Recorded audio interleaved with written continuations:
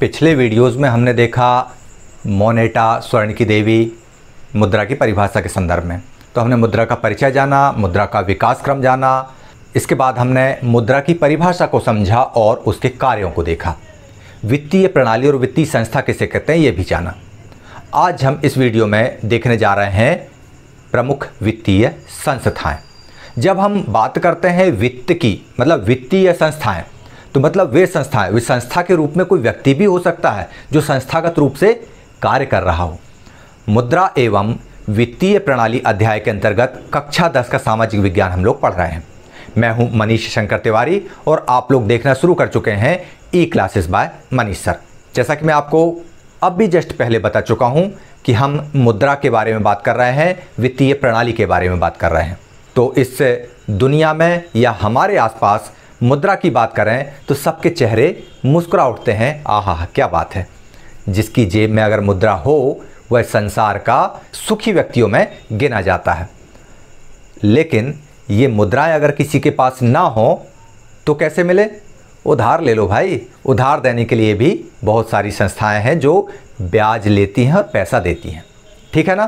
तो ऐसी ही बहुत सारी संस्थाएँ हैं जो पैसे लेती हैं और पैसा देती हैं।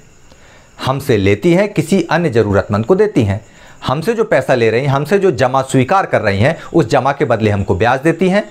और जिसको लोन के रूप में पैसा देती हैं, उससे थोड़ा ज़्यादा ब्याज ले लेते हैं।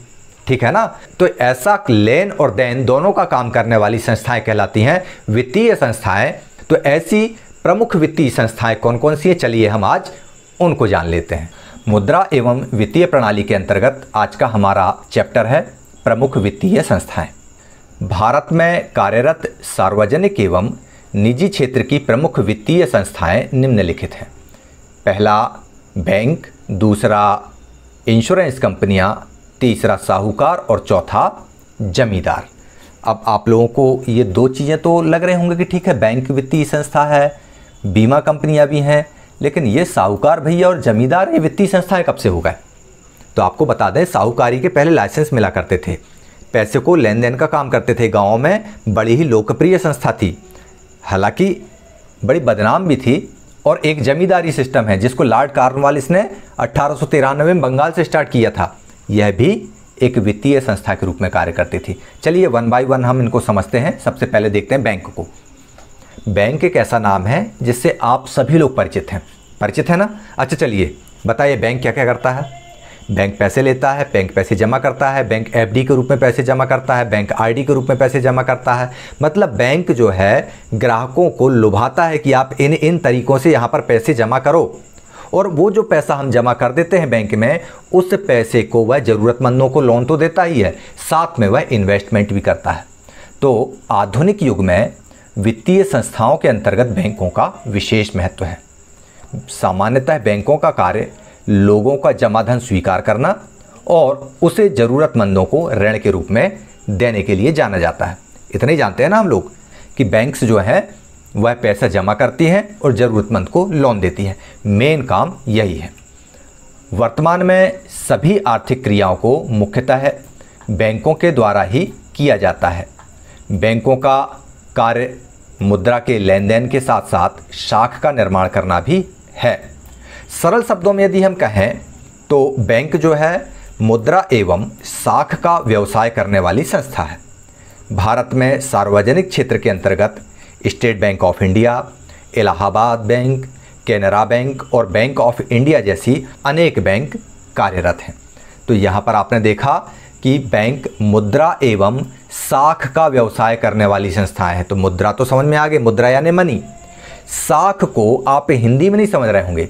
लेकिन अगर हम अंग्रेज़ी में शब्द का इस्तेमाल करते हैं, क्रेडिट तो आप लोगों की समझ में आ गया होगा। बैंक जो है, क्रेडिट का निर्माण करता है। कैसे? आप बैंक से गए लोन लेने के लिए तो पहली बार में आपने बोला कि बैंक मैनेजर साहेब, हमको पाँच लाख रुपए लोन की आवश्यकता है। तो क्या आपको पाँच लाख रुपए लोन तत्काल वो दे देगा? बिल्कुल नहीं देगा वो।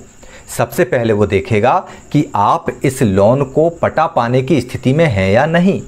पटा पाने की स्थिति में है कि नहीं? मतलब आपकी डेप्थ कितनी है? आप उस पैसे को पटा पाएँगे कि नहीं? तो वह तीन, पाँच लाख रुपए ना दे करके आपको दो लाख रुपए दिया। उसने देखा कि आपके पास इतनी संपत्ति है, ये सारी चीज़ें हैं, यदि बैंक को आपने पैसा नहीं दिया तो वो इन संपत्तियों से पैसा ले लेगा। तो पहली बार आपको उसने दो लाख रुपए दे दिए, आपकी संपत्ति के हिसाब से, आपकी जो हैसियत थी उस हिसाब से। जब आपने समय पर वो दो लाख रुपए पेड कर दिए तो आपकी क्रेडिट बन गई है बैंक में। वो पैसा दो लाख आपको छः साल के लिए मिला था, निर्धारित ब्याज दर पे। उस पैसे को आपने तीन साल में वापस कर दिया और बैंक का ब्याज भी पटा दिया। अब बैंक के पास आपकी साख तैयार हो गई, क्रेडिट बन गई। मतलब अब बैंक के पास आप जाएँगे तो हो सकता है पाँच की जगह छः लाख रुपए आपको दे दे। क्यों? क्योंकि बैंक में आपकी क्रेडिट बन चुकी है, आपकी साख अच्छी हो चुकी है। तो इस तरह से बैंक मुद्रा एवं साख दोनों का व्यवसाय करने वाली संस्था है। उन्नीस सौ इक्यानवे के बाद निजी क्षेत्र के, निजी क्षेत्र में भी अनेक बैंक स्थापित किए गए हैं, जैसे ICICI bank, HDFC bank, UTI bank, Indus bank, ये सारे निजी क्षेत्र के बैंक हैं। वर्तमान में निजी क्षेत्र के बैंकों का कार्य क्षेत्र भी बहुत अधिक बढ़ गया। बैंक वह संस्था होती है जो मुद्रा एवं साख का व्यवसाय करती है, मनी एंड क्रेडिट। मुद्रा का व्यवसाय समझ में आएगा कि मुद्रा ली, हमसे ज़रूरतमंद को दी।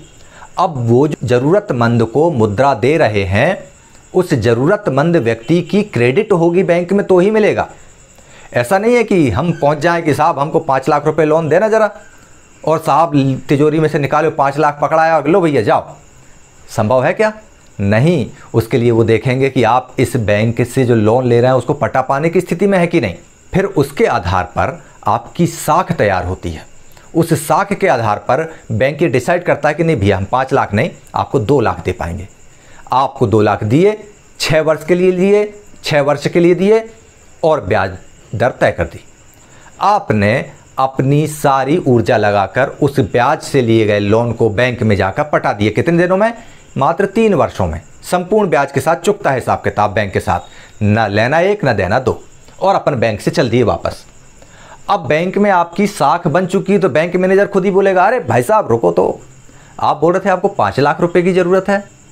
तो आप क्या बोलेंगे? भैया, आपने मना कर दिया था कि मेरी हैसियत नहीं है। तो बैंक वाला क्या बोलेगा मैनेजर? भैया, अब आपकी साख बन गई है। आपकी क्रेडिट रेडी है अब। अब आप पाँच की जगह छः लाख ले जाओ ना। ये कहलाती है साख।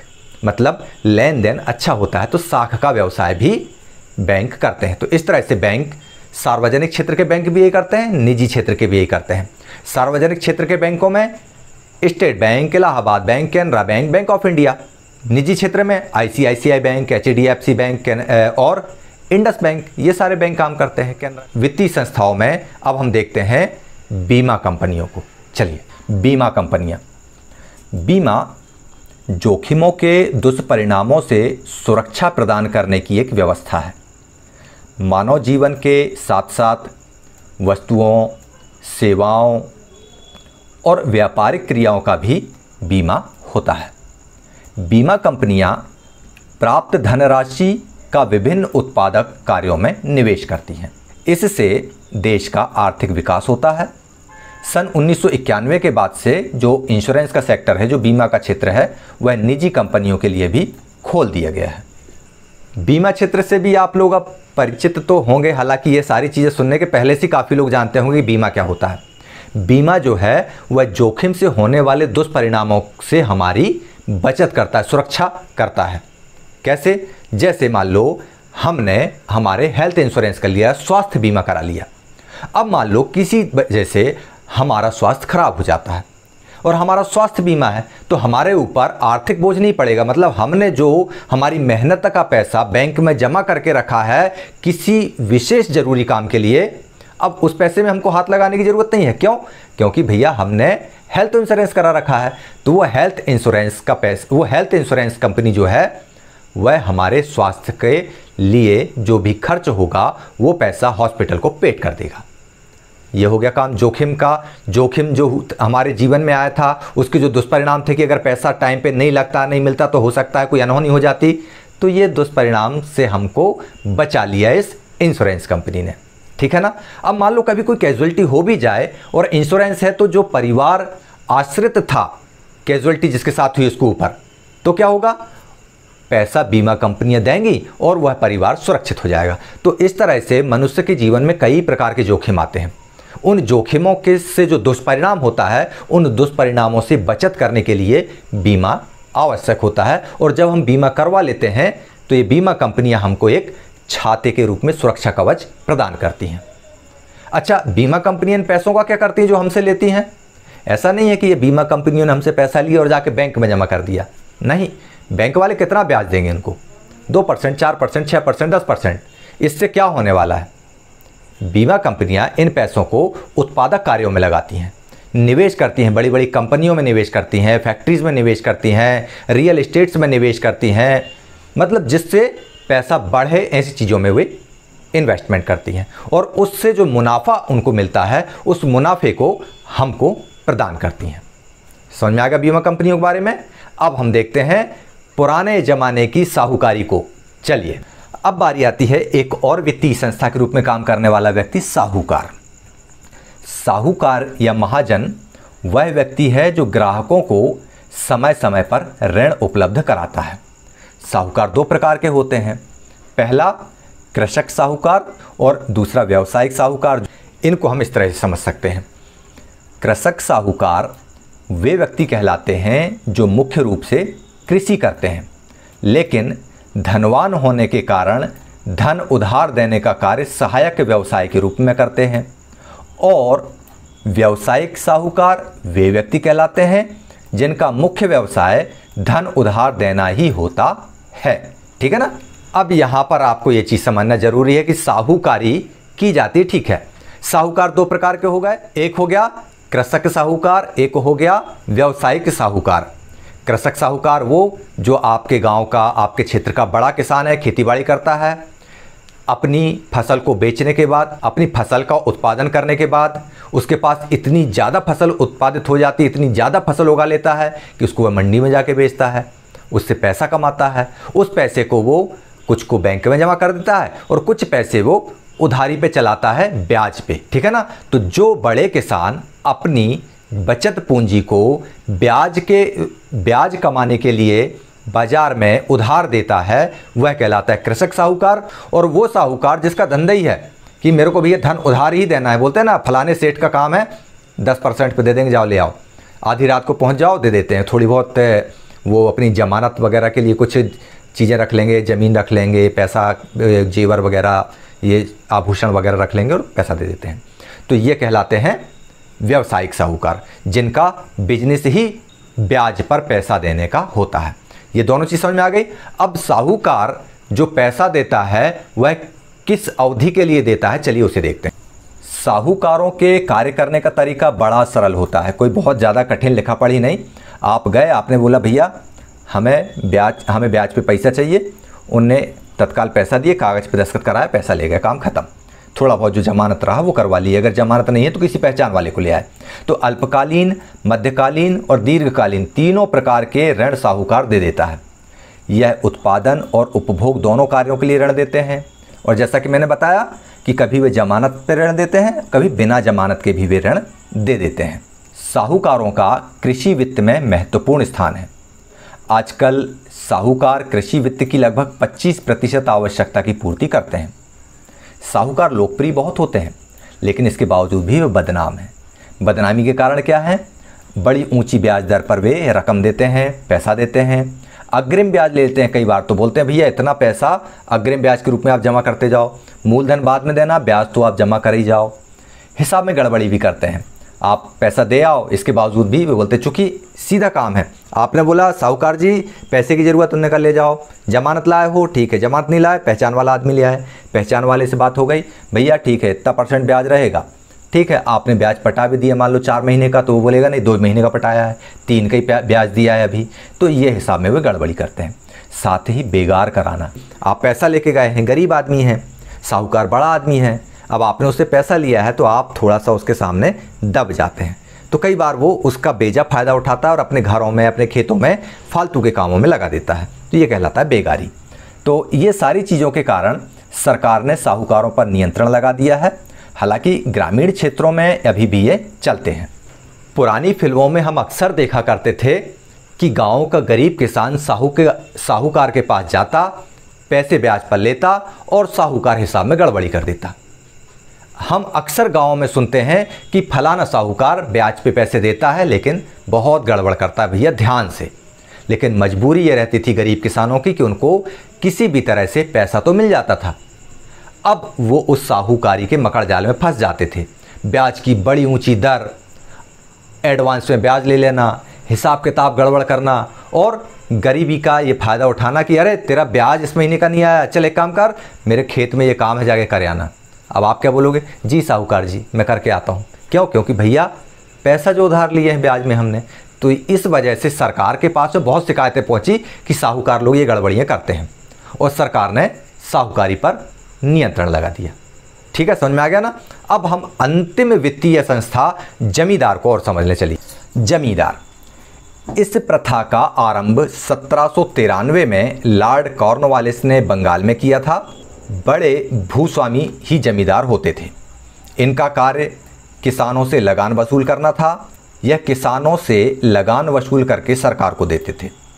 जमींदार आवश्यकता पड़ने पर किसानों को उनकी आवश्यकता पूर्ति के लिए भी ऋण दिया करते थे। जमींदार नाम सुनते ही आप लोगों के दिमाग में ये चीज़ आती होगी कि एक बहुत मोटा खड्डूस टाइप का बूढ़ा किसान है और विलेन जैसी छवि उभर जाती है, ना?